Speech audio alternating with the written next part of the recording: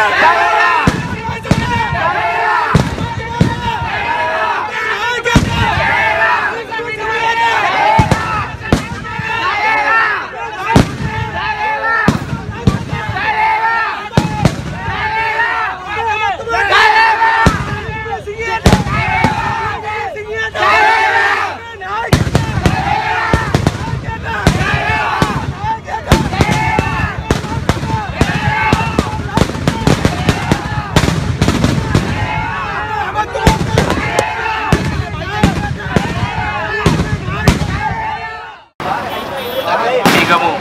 නගරාධිපතිතුමා අපේ නියෝජ්‍ය නගරාධිපතිතුමා මන්ත්‍රීවරු පියා හිටියා ඒකම මීගමුවේ සියලුම ප්‍රදේශවාසී පාක්ෂිකයන්ගේ අවසරයි.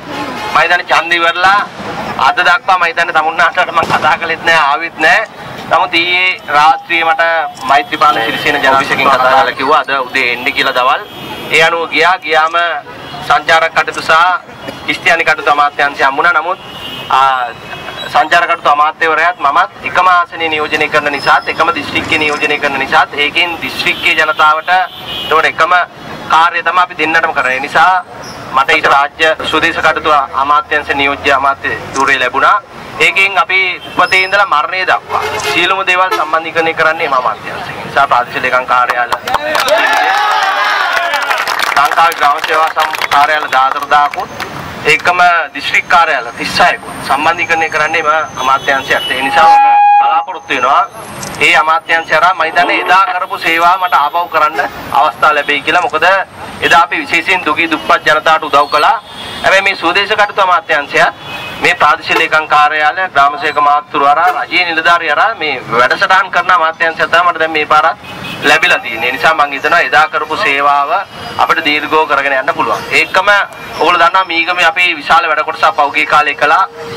මීගමේ කරලා සමහර අය පෞද්ගලික මාසායත තුල විශාල විදියට මීගමු තුල කිසිම වැඩක් නොකර මම දන්නේ ලොකු සංදර්ශන දැම්මත් අදින් පස්සේ මීගමු බාරකාරයා මමයි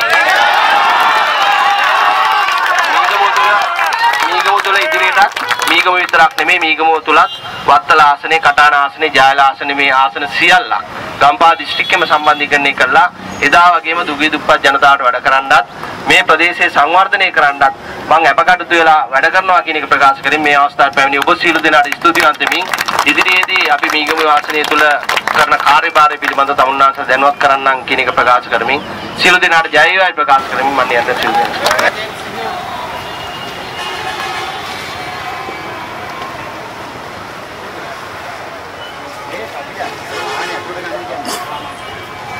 Are any?